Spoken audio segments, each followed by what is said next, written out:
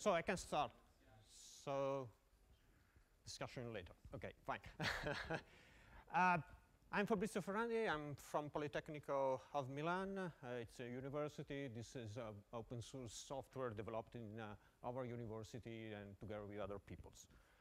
Uh, so this talk is related to FPGA design. And the idea is actually that FPGA could be very helpful in order to uh, accelerate some specific application, not for general kind of uh, acceleration, but there are a lot of a nice story about uh, um, accelerating uh, um, um, critical uh, key application. Here we have a list of possible acceleration. That acceleration range from 2x to sometimes 100x.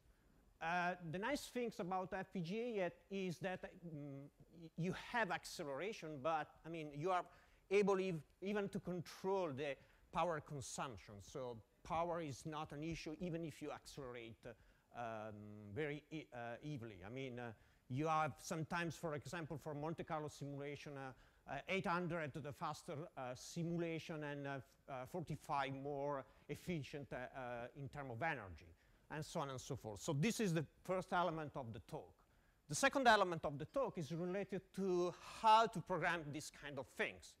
I mean, it's not easy. And um, in, in, in, the past, there are several efforts uh, from handmade design. That is something that uh, currently works even to now, even now, uh, till some automated kind of things. I mean, uh, in uh, uh, in the past and currently, we have we have investigated how to automatically translate, for example, a, a behavioral speci specification down to uh, uh, an RTL description. I mean, uh, my limit in these talks will be um, something that could be synthesized by standard RTL tools like Xilinx um, ISE or Vivado or Quartus Altera and so on and so forth.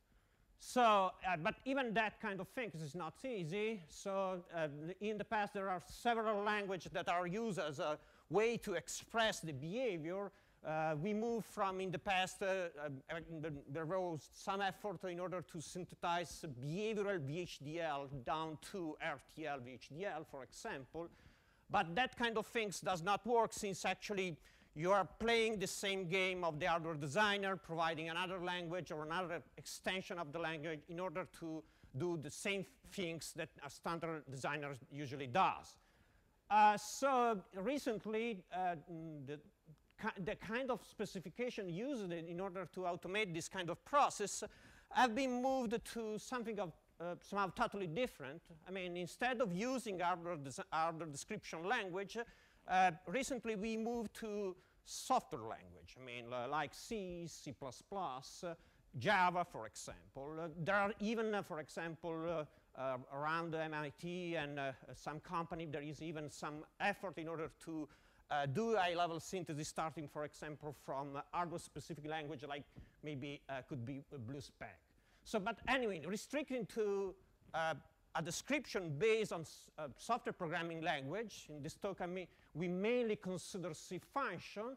The idea is to generate for each uh, of the function you have in your description a controller and a data path in hardware. So you have the controller, the elaboration unit to describe in RTL at the end of the process. And that description should be a synthesized of uh, Verilog of VHDL kind of things. Uh, technology could be, uh, um, usually these kind of things target ASIC or FPGA, but I mean, I think that recently uh, uh the FPGA target is, seems to be a more available solution to this problem. Uh, as usual, uh, this kind of um, thing seems too easy, but actually uh, designing hardware is not uh, very easy. I mean, you need uh, maybe a PhD or somehow a very high skill in order to do that kind of things. Maybe you, you need such kind of things even for software. But anyway, uh, it seems that exploiting uh, uh, hardware description, uh, sorry, um, software uh, uh, programming language could be a viable solution in order to uh, implement in hardware some key uh, kernels, and actually it should be helpful in terms of uh, increasing the productivity of the, uh, of the designer. And the other kind of things that could be interesting is that actually the idea is to not to uh, actually need all the skills that hardware designer usually need. And you just need to know C and more or less that's it. It's not true, but anyway, that is the, uh, the aim. Uh, so that is uh, actually um, a very uh, nice thing, but what happened at the end, so which is the quality of this kind of tools, uh, is, get, is getting better. That's something that is uh, um, getting better in, uh, uh, as the time passes. usually it's worse than handmade RTL design, but I mean, I think it's it even true in software. If you write assembler code, you usually are able to do better than any kind of C uh, or high language, um, uh, high uh, level languages for software programming. but mm, that is one side of the problem. The other kind of nice thing is that usually it's better than software programming. So if you have a, a microprocessor or microcontroller and you compare the results of the A-level synthesis, usually A-level synthesis win. So that is nice, uh, another nice things of the HLS. Um, first things about these talks is related to GCC. Why GCC could, uh, um, uh, uh, came in, could came in this picture uh, GCC is a compiler. It starts from a C. Um, start, it has several front end. it, it, supports several language. Um, when we try to uh, perform this kind of process to, to automate the translation from an high-level description to RTL design, we discover actually that there are a lot of things in common with compiler uh, infrastructure. So we start to study GCC in 2004, so this kind of project is uh, 10 years old, and we discovered that actually we may exploit more or less the same intermediate representation exploited by GCC, and so we study that kind of representation, and we uh, extract such kind of representation because in that, at that level uh, of GCC, so the intermediate one, the middle one, where actually all the uh, intermediate, uh, intermediate transformation are performed, we uh, exploit in such intermediate representation, we may actually exploit all the standard optimization techniques performing in a standard compiler like GCC, even in some ad advanced one in order, in, and that kind of things. So we've developed uh, a plugin that extracts such middle um, intermediate representation and serialize it in, uh, in a file. And then we build up over this uh, intermediate representation all the things needed in order to uh, optimize uh, and generate the hardware starting from them. I mean, there is function allocation sharing, memory allocation, uh, in hardware, you need to perform some analysis in order to understand the bit size of the wires and some uh, stuff like that. Module allocation, register allocation, and that kind of things generate a controller and data path. At the end, we have a single tool, a command line tool that is able to uh, mm, start from, okay, start from, it's able to start from uh, a C description and generate VHDL and, uh, or uh, Verilog. Uh, this is the list of features. Uh, there is support, more or less, ANSI support, ANSI support is more or less complete. Obviously, recursive function is not so easy to support. We support uh, uh more or less uh, GCC from 4.5 to 4.9. Uh, there is a lot of distribution we support from Ubuntu to Fedora. And there is a rich set of component already developed that perform more or less all the basic functionality you may have at lower level uh, internally in GCC, from uh, uh, addition, subtraction, supporting of floating point, whatever you will have in, in this kind of things. All these kind of things are described in, in open source with an XML description that could be easily extendable. Uh, there is a support for verification, automatic generation of test bench. Uh, we exploit two uh, uh, free software projects in order to perform such simulation. In particular, we exploit Icarus, Icarus Verilog and Verilator. And also, uh, we support some commercial tools like ModelSim, uh, iSim, or XSim from Xilinx. We have a, a, larger regression test, as any compiler should have. Uh, this is uh, a large set taken, taken from academic side and uh, even from GCC. Uh, support for uh, synthesis, more or less the list is almost complete in terms of uh, tools supported. and we are even uh, currently considering even some uh, open source project. In particular, there is Yosys project that could be very nice in order to perform the synthesis more or less till the end. I mean, we missed the last step, I think, but we are not so far in order to be able to program an FPGA. Uh, some case studies. So, uh, three example. Uh, Keccak is a cryptocore um, uh, it was uh, the winner of the SHA-3 competition uh, performed some times ago. We take the C description and we compare with the VHDL handmade, developed by the, uh, the winner of the, of the contest. So uh, obviously control the C is more easy than made than try to, start to write the VHDL. So that kind of things was passed to Bambu uh, the tool uh, we've developed. and we actually are able to obtain uh, better performance losing some area. I mean, if you look to the lookup table, I mean, it's not so comparable in terms of. But in terms of performance, it's not so bad.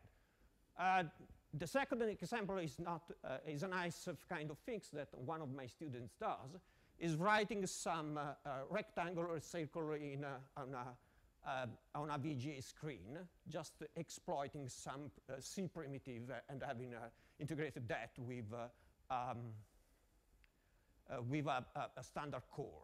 Finally, we have even tried to uh, synthesize and see which kind of, of C support we are able to have. And we start from an an open source project developed at, uh, at CERN and uh, we are with other partners. This is pretty large kind of project, but that kind of project uh, uh, we was able to synthesize and we are able to fit that kind of things in a single Zynq uh, board. that's it. We are keen to cooperation, integration with other kind of tools, uh, questions, uh, comments, and whatever.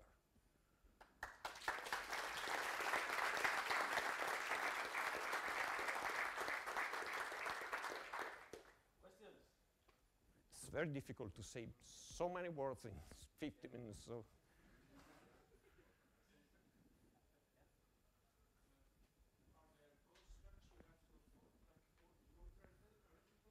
No, pointer is not a problem. Sorry.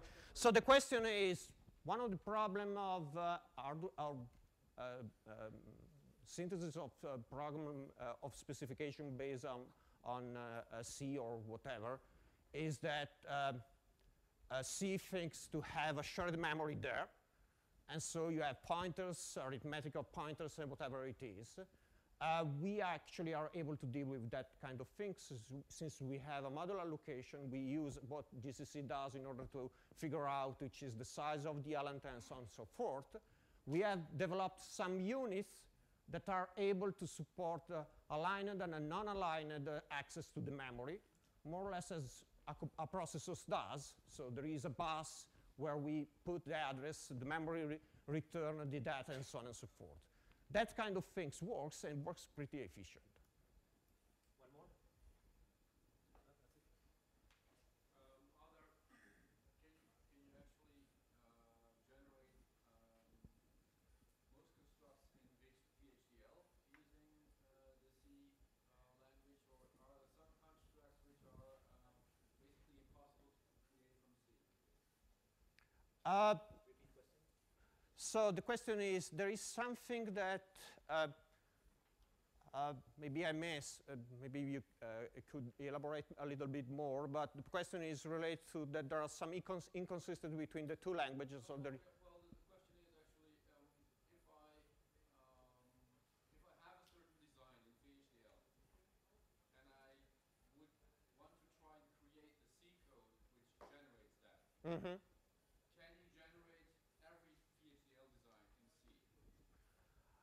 So reversing, so the idea is to reverse engineering the VHDL in C and then uh, actually have something that could be retargeted to any kind of uh, hardware and so on and so forth. Uh, I mean, it's a matter of uh, designer fantasy. I mean, I did such kind of things, for example, for floating point course. So I start sometimes from VHDL description of uh, available of floating point units, and I try to rewrite everything in C. Actually, uh, uh, most of the time uh, you have to deal with bit size, but that kind of things it could be controlled in C through masking and saying that, that kind of thing is not greater than that and so on and so forth. Compiler pretty clever in, in that kind of things since, for example, GCC 4.9 start to support value range, and so we just have to add bit value analysis and so on and so forth. So actually, I, I mean, I, uh, there are things that could be uh, uh, not easily ported to, uh, to C. I'm thinking maybe to uh, when you have mm, mm, things concurrent and, and stuff like that. But I mean, it's another option. I mean, if you are hardware design, as I, I, I, I, was most of the time, sometimes it is better to start in, in, in, in hardware design. But I, am trying to do that kind of uh, things that is try to involve people that are, does not have all the skill usually you have, uh, uh, an hardware design have in order to build an FPGA. Uh, just giving, exposing to, to him a tool and, and, and see. I mean, that kind of things at the beginning is not uh, optimal, but I mean, it's a trade-off.